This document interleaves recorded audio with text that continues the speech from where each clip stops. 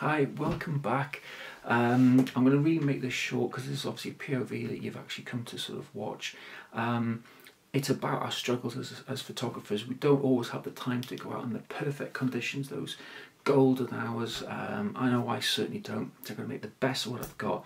The light going along that first walk along by Seaton Sluice was just terrible.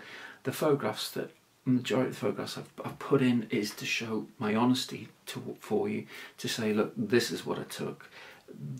I probably wouldn't even take them off the computer the photographs were just not good. The two last ones black and white with the boat I just purely looked at the highlights and it was enough to make me think yeah I think they're okay. I might print those off. Um, as for Newbiggin I struggled again went out about the first hour. I had some footage and I actually got rid of it. There was nothing to show.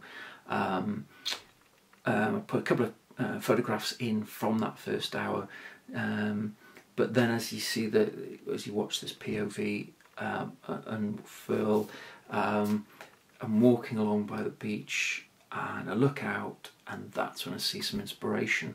And I think this is what this is about. I think from what I would say was nothing much going on, nothing much happening, hopefully is the fact that um, it's this sense that we all maybe have the struggle. It's we we see films and videos and go, wow, they got it, got it right. It's not always the case, and I think that this these two outings, two different cameras, it it wasn't good at times. It was really I was just just hunting and hunting. But the thing is I didn't stop and I was just pure luck that there it was, there was that inspiration. And it's the same thing with street photography. Doing, I've been doing some more footage with street photography and I was struggling and suddenly there was the shot. And I think that's what the key is to this. Um, I hope you enjoy it.